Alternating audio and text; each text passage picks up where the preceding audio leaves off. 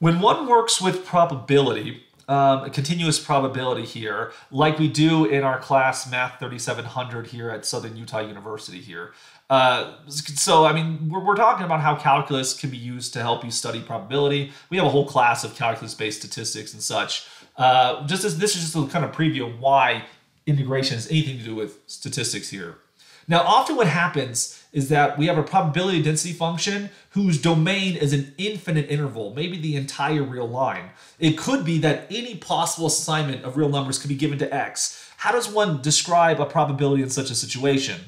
Well, we'll be interested in things like, well, what's the probability that x is less than b? Uh, which, by a previous remark, the, the probability that x equals exactly b, of course, is zero. So that's no difference in saying x is strictly less than b or x is greater than or less than or equal to b. Um, this is going to turn out to be an improper integral. Uh, if you want to find the probability that x is less than b, it's going to be the probability from it's going to be the integral from negative infinity to b. Similarly, if you want to find the probability that x is greater than a or greater than equal to a, this is going to be an improper integral from a to infinity of f of x dx. If you take the probability that x is going to be greater than negative infinity and less than infinity, notice you're integrating the entire domain of the density function. Of course, that's going to be a 1 because it's a density function here. Uh, but let's take a look at an example why that might be appropriate. Suppose that a random variable x is the distance in kilometers from a given point to the nearest bird's nest. So if we were to leave our classroom and go look at tr different trees around our neighborhood or around the campus, how how far do we have to go before we find a tree in a bird's nest? Or sorry, that's a weird thing to say. A bird's nest inside of a tree. Uh, and so in a certain biome, uh, we can model the distribution of that bird's nest by the function f of x equals 2x e to the negative x squared, where the domain is going to be x is greater than equal to 0. Negative doesn't really make any sense here because we're talking about a distance, but potentially that distance could get arbitrarily large. Like if we one day woke up and we're on the moon, um, there's going to be a huge amount of distance before we have to go before we find the nearest bird's nest. You could imagine from that. So this could get arbitrarily large, but of course, uh, it's not likely to get very large. Let's first convince ourselves that this is a density function. To be a density function, it has to first be a positive function. Now notice that e to any power is always going to be positive. So in particular, if we take the negative x squared power, uh, this is always positive. Um, and then because of our domain here, x has to be greater than equal to zero. If you take the product of these two things, it's going to be greater than equal to zero. You throw a two in there, it's going to be greater than equal to zero. That part's usually pretty easy. Um, to show that it's a density, we, we have to check the domain. As we go from zero to infinity, why is it that 2x e to negative x squared, why is that equal to 1?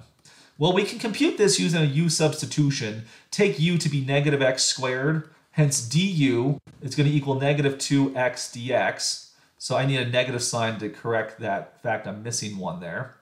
And so if we make the substitution, this is going to be the integral of negative e to the u du.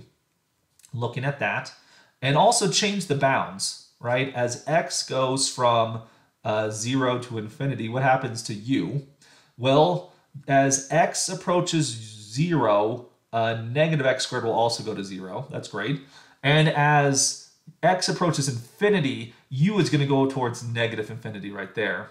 And so if we change the bounds, we're going to have 0 right there, negative infinity right there. And so then swap, swapping up the order here, you're going to get negative infinity on the top, 0 right here, e to the u du. All right, well, what happens now? Integrating, you're going to get e to the u from negative infinity to 0. When you plug these things in there, you get e to the 0 minus e to the negative infinity. Um, as x approaches 0, the exponential will become 1, and as x goes to negative infinity, you're going to get a 0 there. So we do get the area under the curve as 1. This is a valid probability model. We can use this to model uh, the distance to the birds. We will we'll let the biologists figure out whether this is a good model or not, but we as mathematicians can see that this is a legitimate probability model. Whether it's a good model or not, again, we'll let we'll let the biologist and those who study the birds to worry about that. So using this probability model, what is the probability that the nearest nest will be within a half a kilometer? So we're asking what's the probability that x will be less than or equal to 0.5? So with respect to the density function we are using, uh, we need to calculate the integral from 0 to 0.5. Because you can't get less than 0, so that's the lower bound there. And then our function was 2x e to the negative x squared dx. Uh, again, to calculate this integral, we probably want to do a u substitution, exact same u substitution as before.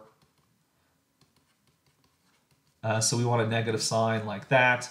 Uh, really, the only thing that changes are how we change the limits. Uh, you have an x and a u, 0, 0. And so now when you have a 1 half, when you plug that in there, you're going to get negative 1 fourth, or negative 0.25 if you prefer. And so the calculation this time is going to look like the integral from negative 1 fourth to 0 e to the u du. Antiderivative we know it is again e to the u as you go from negative 1 fourth to and 1 there. So you get 1 minus uh, e to the negative 0.25 or if you prefer 1 minus 1 over the fourth root of e that's an option. Uh, but we, we'll just estimate this thing with a calculator. We want a percentage. Uh, and with your calculator, you get a 0.2212. So there's about a 22% chance that, uh, you know, a little bit less than a quarter of a chance that if you go half a mile, you'll find a bird's nest uh, in, in, in some tree. So we're talking about a, a, one half radius, one half kilometer radius around there. So these calculations work out pretty nicely. And you'll also kind of notice that as you do these, these integrals over and over again, you're gonna have the same antiderivative. Oftentimes you wanna come up with a formula for this antiderivative. And this is actually the main difference between like a calculus-based statistics class and a non-calculus-based statistics class. The thing is, as we can see in this example, to find the probabilities, we have to find the antiderivative of the density function, uh, which we can do because we know calculus, but students who don't know calculus can't do that. So what instead happens is that the instructor prior to the class calculates the antiderivative of the most commonly showing up uh, probability density functions, and then they just teach those as the functions to the students and they never have to do the calculus. This works in special situations, but it only is going to work for uh, a few standard uh, probability density functions. Unlike this example, which they wouldn't stand much of a chance of, uh, we have to be able to calculate we have to be able to calculate these using calculus. Um, calculate uh, computing statistics without calculus is kind of like doing physics without calculus. It's just absurd.